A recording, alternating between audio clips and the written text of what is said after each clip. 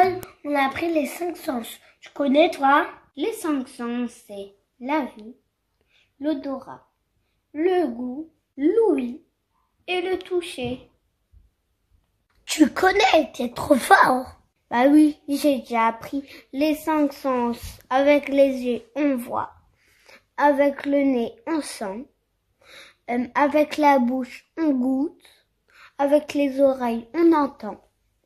Et avec les mains, on touche. D'ailleurs, ça me rappelle la mitzvah du Rambam. Ah bon Pourquoi? La mitzvah du Rambam, c'est encore la même qu'hier. Ah oui, si on est à côté de quelqu'un qui est une on, devient tamé. Mais, quel rapport Explique-moi.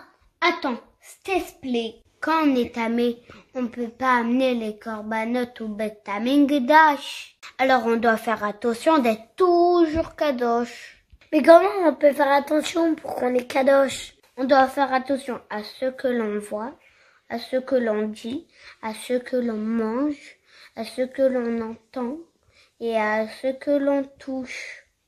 Et aussi, on doit faire attention où on va. Ah ok, on doit regarder que des choses kadosh. On doit dire que de belles choses. On doit manger que des choses cachères.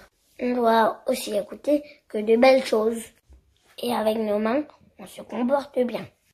Comme ça, on est kadosh. T'es trop fort, t'as tout compris. Et vous les copains, vous avez compris? On doit faire à chaque fois attention qu'on est kadosh. Au revoir les copains, on vous embrasse, à demain.